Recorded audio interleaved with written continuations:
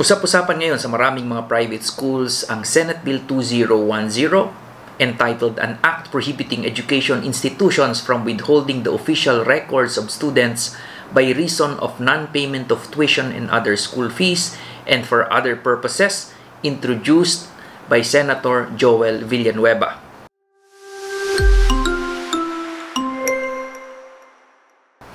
Under this proposed law, It is considered unlawful practice for any educational institution in the country to withhold or otherwise cause directly or indirectly the delay in the release of the official records of students by reason of non-payment in part or in full of tuition and other school fees.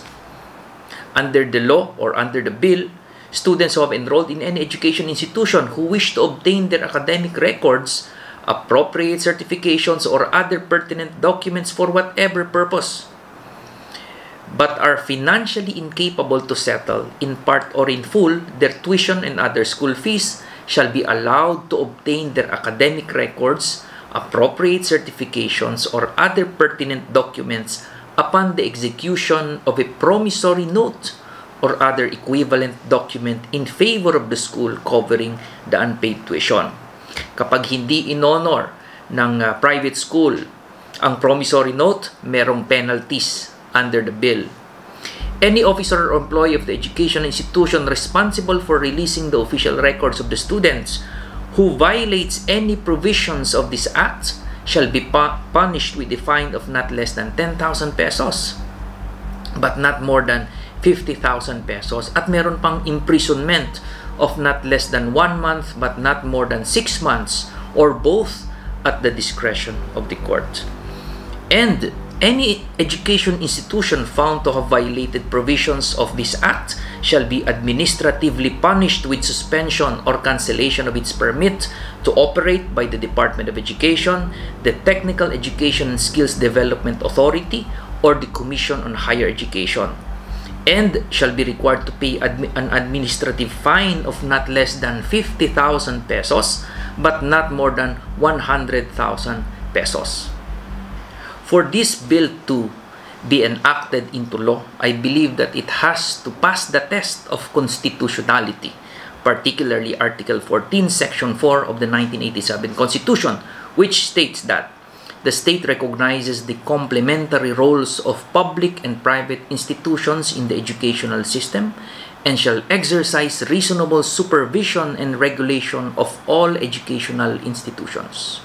Ipaniliwanag po ng ating Korte Suprema sa maraming mga kaso ano ang ibig sabihin ng reasonable supervision and regulation.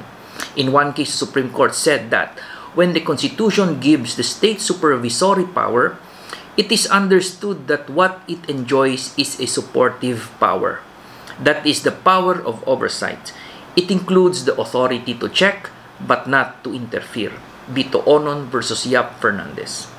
Also, in another case, the Supreme Court cited the framers of our Constitution no less in saying, when the Constitution speaks of state supervision and regulation of schools, it refers to external governance of educational institutions. It does not in any way mean control. It refers only to the power of the state to provide regulations to see to it that these regulations are duly followed. It does not include the right to manage, dictate, overrule, and prohibit. Therefore, it does not include the right to dominate. End of quote. Another constitutional provision that it needs to hurdle is Article 3, Section 10 of the 1987 Constitution, which states that no law impairing the obligation of contracts shall be passed. When the students enroll in a private school, there is created an education contract. And as a contract, all parties have obligations as well as rights under the same. At sinabi ng Supreme Court, merong principle of reciprocity in school and student relationships which means that it gives rise to bilateral or reciprocal rights and obligations. Under Rihino case, GR number 156109. At dahil nga ang education, enrollment or registration ng mga estudyante ay isang kontrata, it cannot be unilaterally withdrawn by only one party. There has to be a mutual agreement, including the changes. At ang promissory note nga ay isang manifestation of that agreement of between the school and the student. Hindi pwedeng ipipilit lamang ng estudyante na tanggapin ng school ang promissory note. Pangalawa, bukod sa constitutional infirmities, the bill should also be able to show why it is overturning the current policy of the Department of Education as well as the Commission on Higher Education on this matter. In fact, para sa Department of Education, under DO 88 series of 2010 as amended, otherwise known as the Manual of Regulations for Private Schools in Basic Education, it expressly provides under Section 127 a pupil or student enrolled in one school is entitled to transfer to another school provided he has no unsettled obligations with the school he was enrolled in. And the school last attended by the student is authorized by the Department of Education to withhold credentials on account of unpaid financial obligations. Under Section 128 of the same manual, it provides that the release of the transfer credentials of any pupil or student may be withheld for reasons of suspension, expulsion, or non-payment of financial obligations or property responsibility of the pupil or student to the school. The credentials shall be released as soon as the obligation shall have been settled. My own take on this issue. The use of promissory note in schools had been in existence for many, many years, in fact, even decades since I can remember.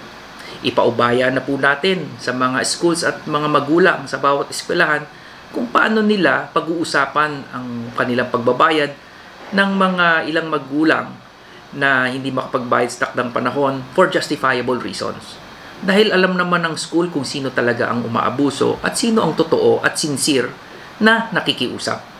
Kadalasan nga, patong-patong na ang mga promissory notes, pinagbibigyan pa rin ng mga private schools. At dahil nga ang promissory note ay nakabase lamang sa pangako, maari po itong maabuso.